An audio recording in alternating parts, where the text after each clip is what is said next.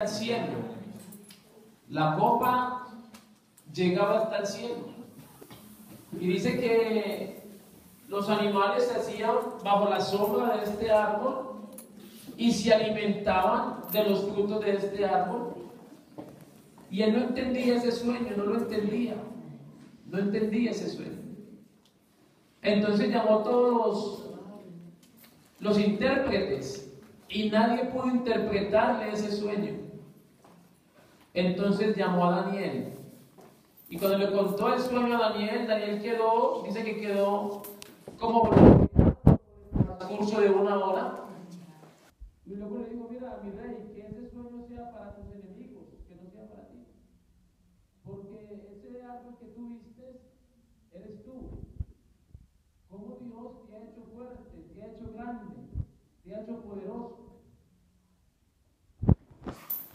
Pero también pudiste ver que se dio una orden de que el árbol tenía que ser cortado sus ramas, sus frutos iban a ser dispersos y iba a ser echado en tierra.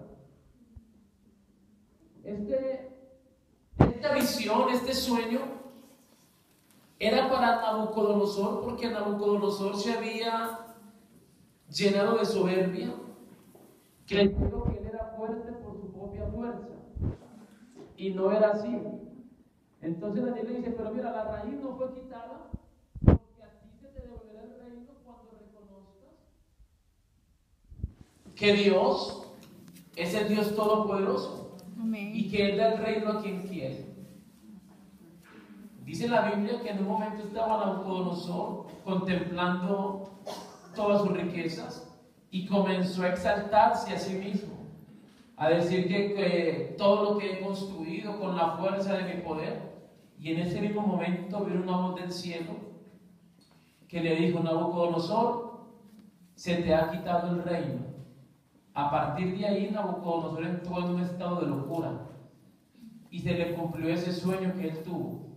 Comenzó a comer pasto como los bueyes, se le dio, se le quitó el corazón de hombre y se le dio un corazón de bestia.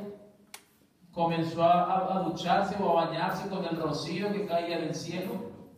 Hasta que dice, hasta que volvió en él nuevamente la cordura y pudo reconocer que solo hay un Dios. Amén. Cuando él reconoció que solo hay un Dios, le fue devuelto todo su, su majestad, toda la autoridad. Así que este sueño que nos enseñaba el hermano nos da a entender algo. Que cuando Dios use nuestras vidas, no vayamos a creernos más de lo que somos que solamente la gloria le pertenece es a Él, Amén. a nadie más. Dios no comparte su gloria con nadie. Amén. Dios pone reyes, Dios quita reyes. Dios usa a quien Él quiera usar. Él es Dios. No vayamos por ningún momento a querer llevarnos los aplausos que le corresponden a Dios. A querer llevarnos los halagos que le corresponden a Dios. Amén. Vamos a servir a Dios. Amén. Vamos a predicar la palabra de Dios. Y cuando Dios comience a usar nuestras vidas, que nosotros podamos levantar las manos al cielo y decir, Señor, esto lo estás haciendo, eres tú. Amén. Yo solo soy un canal, yo solo soy un vaso Amén. al cual tú estás usando para la gloria Amén. de tu nombre. Amén. Gloria al nombre de Jesús.